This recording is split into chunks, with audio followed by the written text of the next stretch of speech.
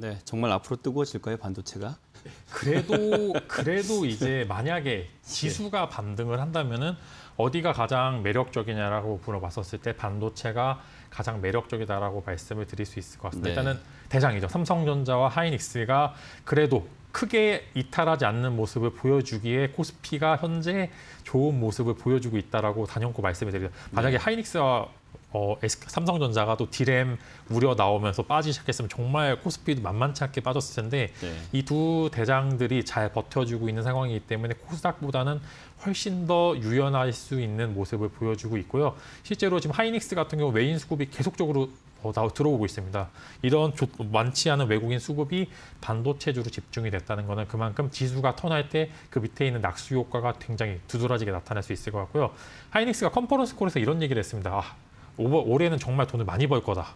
그렇기 때문에 하이닉스 쪽 이제 DRAM이나 NAND 쪽 향이 짙은 기업들에 대해서는 충분히 공략을 하고 있고 실제로 3, 4분기가 반도체 쪽 성수기, 성수기라서 어, 대체적으로 실적을 많이 어, 쌓아 올린 기업들이 많습니다. 그래서 실제로 보시면은 2차 전지 기업들은 아, 2차 전지 기업들이 아니라 반도체 기업들 같은 경우 실적에 거의 다 부합하는 모습을 보여주고 있습니다. 이미 컨센이 높아져 있는데 부합을 했다는 거는 비수기 때도 이런 성장세가 이어진다면은 충분히 올해는 반도체 쪽을 좀 공략을 해 보셔도 좋을 것 같고 저 정말로 만약에 지수가 턴을 한다면 반도체 쪽은 무조건 적으로 가장 top sector로 뽑을 수밖에 없는 상황입니다. 그렇기 때문에 반도체 쪽을 공략을 해보시라. 뭐 대장주를 공략을 해보셔도 좋고 이제 밑에 낙수가 주요 vendor사를 공략해 보셔도 좋지만 그래도 반도체는 꼭 포트폴리오 안에 있어야 된다라고 말씀을 드리겠습니다. 네, 꼭 있어야 한다. 네. 어렵네요. 그 렇죠. 네. 네, 맞아요. 점점점이에요. 시장이 뭐 지난해에도 업황이 나쁘지 않았는데 불구하고 네. 워낙 주가가 좀뭐 음, 좀 많이 지지부진했었기 때문에 올해도 뭐 긍정적인 여러 가지 이야기가 있지만 여전히 시장에서는 일단 수급이 안 받쳐주다 보니 어제까지만 해도 SK 하이닉스 외국인들 좀 담는가 했더니 또 다시 지금 오늘 또 팔고 있는 상황이라서 네. 예, 표정이 더 이게- 어둡게 만들진 아, 않겠습니다. 어, 저도 이제 뭐, 어, 뭐 이제 여기서 나와서 얘기를 할 때 좀 죄송스러웠던 게 사실 네. 인디언 기우제도 아니고 이제 그러니까요. 맨날 좋아지겠죠라는 말씀을 드리는 것도 사실 개인 투자자분들께서는 이제 아, 저, 저 사람 그렇죠? 또 네. 좋아진다는 이야기를 음. 하네라고 이제 말씀을 드리겠지만 음, 그래도 언젠가 봄이 온다면은 그 봄의 가장 큰 수혜는 맞아요. 반도체가 음. 이제 올, 거, 올 것으로 보고 이제 최근에 또 날씨도 많이 따뜻해지 오늘 뭐 오늘 살살 춥지만 그래도 이제 봄 내음이 슬슬 나오고 있는데 맞아요. 어, 이제 이런 이슈들이 마무리가 되면은 봄도 다시 올 거고요. 봄이 온다면은 반도체 쪽 공략 충분히 가능합니다. 네. 은근히 감성적이란 말이야. 자, 삼성전자, SK 하이닉스 지금 좀뭐 어, 주, 주요 아무래도 대장주다 네. 보니까 좀 살펴봐야 될 텐데요.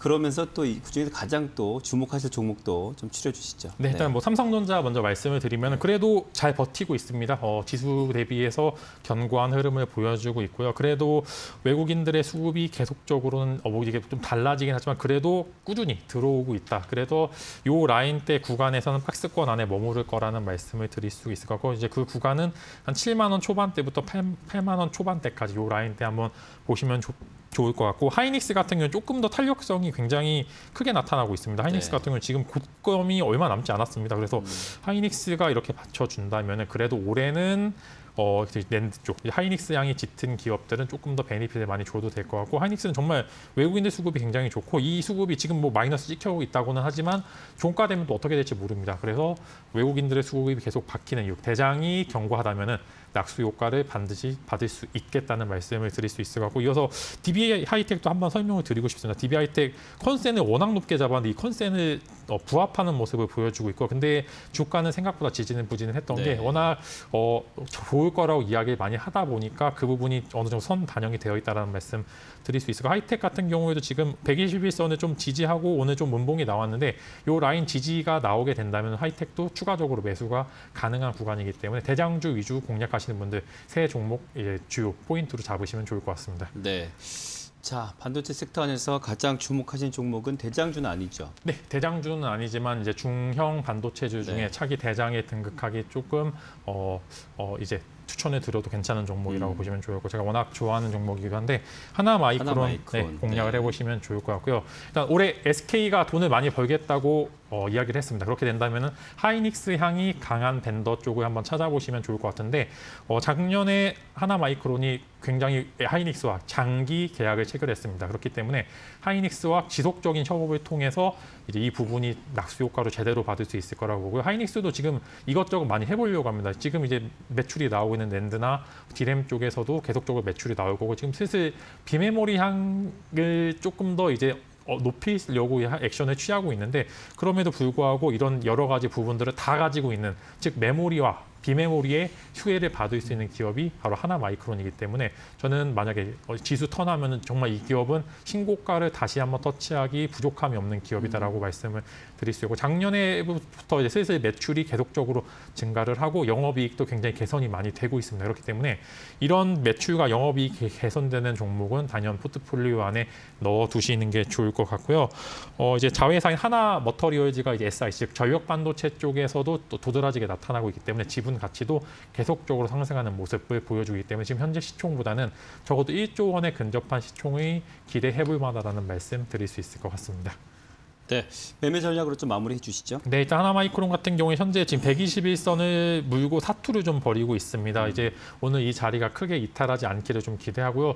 내일장까지 정말 밀리게 된다면 정말 위험한 구간이다라고는 말씀을 드리겠는데 어, 일단 현재 현금이 계신 분들은 현재 자리라면 충분히 베팅할 수 있는 구간이라고 좀 보여지, 보여지고요. 일단 매수가로는 현재가 매수 가능하고 일단 단기적인 목표가는 2만 천 원이죠. 요 위쪽 라인 밴더 쪽을 공까지는 공략을 가능 충분히 하다고 말씀을 드리겠고 손절 가로는 15,500원 드리겠습니다. 15,500원이라 하면은 이 밴더 121선이 이탈되는 라인인데 그래도 이 라인이 되면은 어, 밑꼬리를 먹고 올라가거나 아니면은 여기서 밀리게 된다면 정말 그 밑에 한 12,000원까지 지수가 정말 밀릴 가능성이 굉장히 크기 때문에 이렇게 해서 어, 매수가는 현재가 목표가로는 21,000원, 손절가로는 15,500원 정도 제시를 드릴 수 있을 것 같습니다. 네.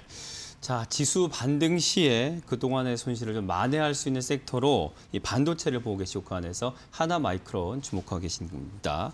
자, 참고하시길 바라고 자, 테만 이슈 리치앤코의 김진만 팀장과 함께 했습니다. 오늘 말씀 고맙습니다.